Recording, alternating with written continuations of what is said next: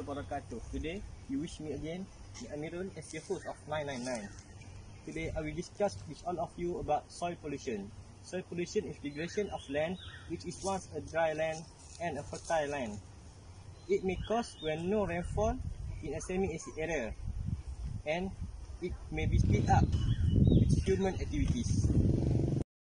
We will ask the opinion of all people in this land. Bangji, Bangji, come here, come here, Bangji. Excuse me, Bangji. Do you know about, do you know of, effect of soil pollution? Oh, soil pollution. Uh, the thing that I know about soil pollution is um, the soil pollution is uh, not a good thing and can be harmful for the environment.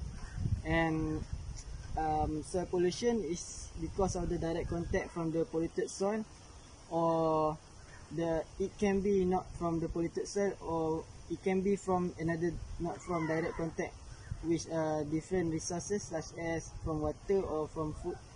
So uh, basically that's all that I know about soil pollution, the effect of the soil pollution. Good, good, good. You good boy. You may you may continue your run.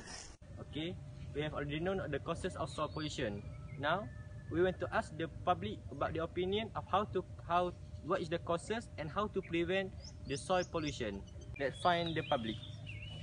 Excuse me, miss. Yes, yes. Do you have a time? Yeah, yeah, sure. Actually, I want to ask you, both of you, about how to prevent and what is the causes of soil pollution. Oh, okay, okay, sure.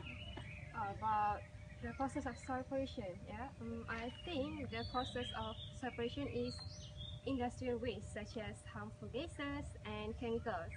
The other is um, fuel leakage from automobiles that get washed away due to rain and mix and set into the soil. Mm, and the last is mm, ignorance toward soil management and related system. How about you, miss? Can you explain to me about how to prevent soil Our environment is in great danger.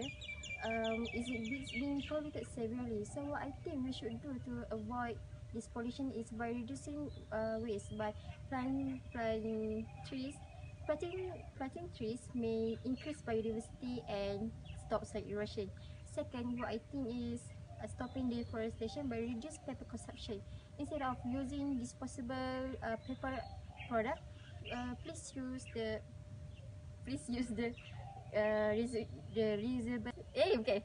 Second, stopping deforestation and reduce paper consumption. Please uh, using um, re- reusable tin instead of the disposable paper consumption. Eh. Second, please uh, stopping deforestation uh, by reduce paper consumption. Instead of using disposable uh, disposable paper product, please use reusable tin. And the last one is conserve, conserving electric conserving energy by reduce electricity consumption. Uh, we can turn off light uh, when we are not in use and please use uh, the LED bulb instead of fluorescent bulb. Excuse me, sir. Yes. Can I ask you about your opinion about the level of soil pollution? Okay. Uh, in my opinion, the biggest risk in soil pollution are in urban area and former industrial set.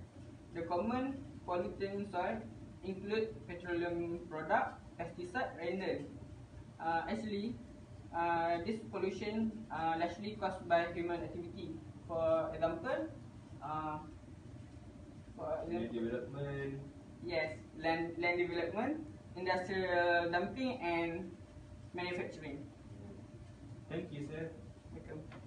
On my interview station, it has concluded that soil must be preserved in order for our our next generation to for them to be used. That's all. Thank you.